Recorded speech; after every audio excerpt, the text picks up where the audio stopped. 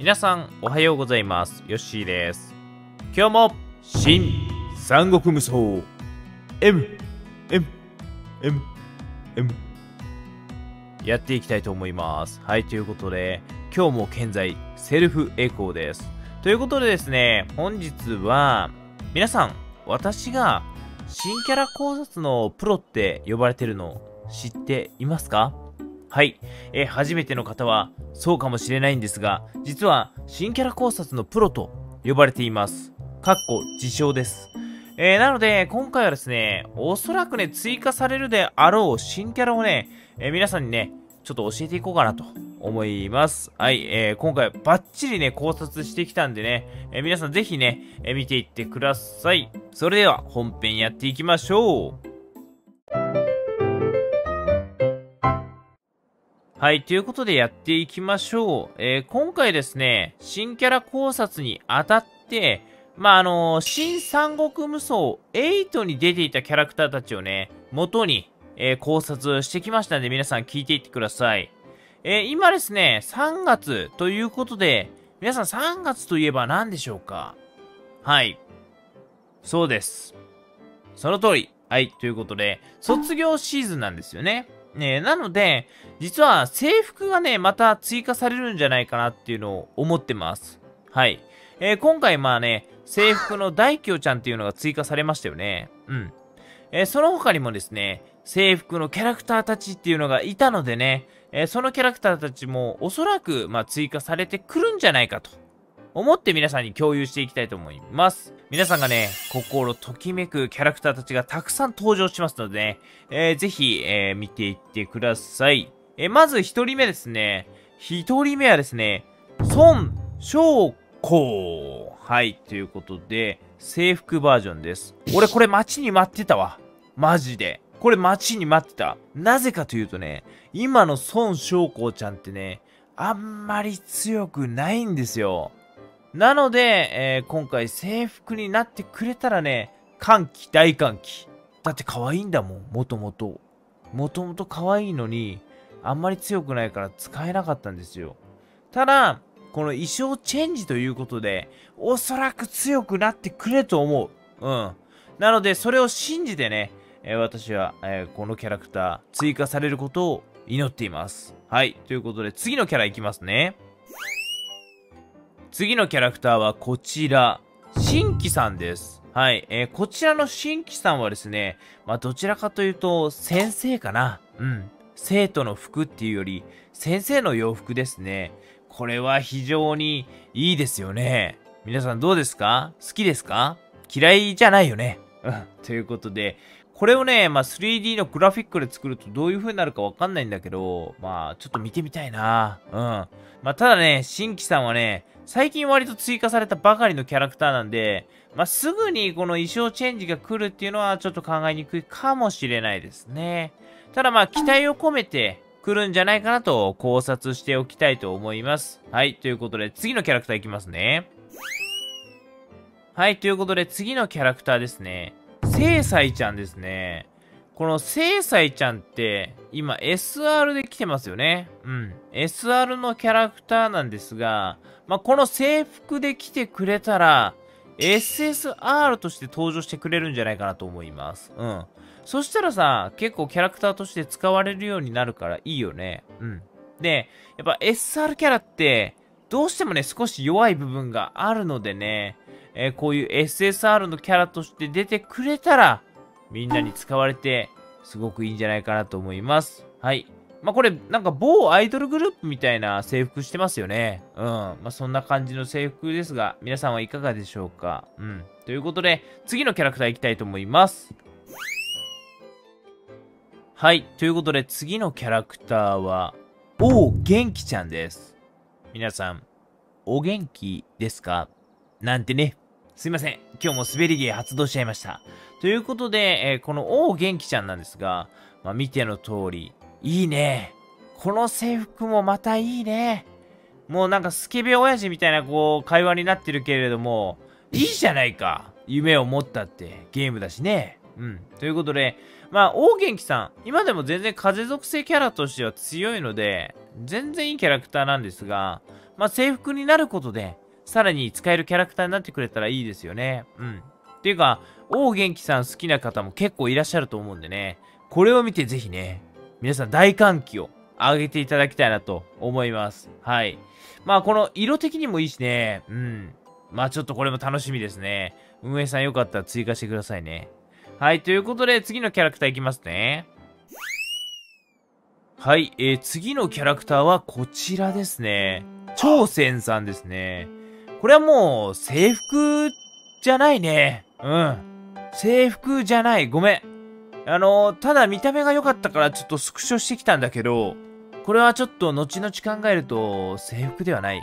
ただのヨッシーの好みだ。うん。ということで、まあでもみんなね、これ好きだと思うんでね、追加してほしいよね。ただね、まあ、朝鮮さんね、今ちょっと守り系のキャラクターになってるんで、ちょっと攻撃的な部分をね、発揮していただければいいかなっていうふうには思っております。はい。なので、まあそういう意味を込めてね、えー、今回追加されてほしいなということです。はい。なるべくあんまり活躍してないキャラがどんどん出てきてくれたら、またさらに面白いかなと思います。はい。決してね、この見た目が好きでね、チョイスしたわけじゃないよ。まあ好きだけど。うん。まあ、そういうことだよ。えー、次のキャラクター行きましょう。次のキャラクターは、こちらです。朝鮮です。はい。ということで、これもいいね。うん。ちょっと、あまり深掘りすると、やめておこう。みんなここで動画見るのやめちゃうから。えー、次行きたいと思います。はい。ということで、次のキャラクターは、この子。両霊気ちゃんですね。これ実は大本命じゃねえかなと思ってる。両霊気ちゃん。これね、多分ね、来たらみんな引くよ。うん。両霊気ちゃん大好きな人結構いるからね。ちなみに私も大好きなんで、引きます。はい。ということで、この制服追加されたらね、引いちゃうよね。まあね、次はどういうキャラクターになるかだよね。まあ今の時点で、かなり強力なキャラクターなので、うーん、まあ、それより強くなるのかって考えるとどうかなっていうふうには思うんで、まあでも楽しみではあるね。うん。まあ今若干ね、攻撃面が弱いので、攻撃面に振ったリョレイキちゃんっていうのが、まあ出てきてくれてもいいかなとは思いますんで、そういったリョレイキちゃんも見てみたいですね。はい、ということで、この制服リョレキちゃん、皆さんいかがでしょうか？欲しいよね。俺も欲しい。うん。ということで、次のキャラクターいきます。はい、えー、次のキャラクターはこちら。制服小京ちゃんですね。大京ちゃんの妹ちゃんかな？うん。ということで、まあ、この子もね、制服になって、SSR で登場する可能性は十分にあるよね。うん。しかも、SR のキャラなんて、今回のね、お姉ちゃんから、え、次妹、みたいな流れで全然来てもおかしくないと思うんでね。えー、この子もね、期待大だと思います。意外と、小京ちゃんのファンもね、たくさんいらっしゃると思うんでね、それもちょっと楽しみだな、ということですよ。はい、ということで、まあ私もね、追加されたらぜひ欲しいなと思いますね。はい。まあ、キャラクター的にだよ。あくまで。ということで、えー、次のキャラクター行きましょう。はい。えー、次のキャラクターはこちらですね。東白ちゃん。東白ちゃんいいね。うん。